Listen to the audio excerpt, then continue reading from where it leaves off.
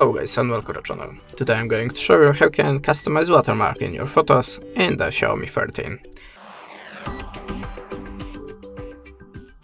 So at the start open the camera app, then go to the three line button and choose settings.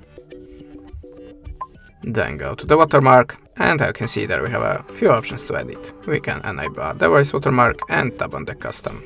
You can type uh, your own text here you can also enable a Leica watermark, but I prefer uh, the, the Xiaomi watermark. So now, if you go back to the camera and take a photo, the customized watermark should appear in the corners.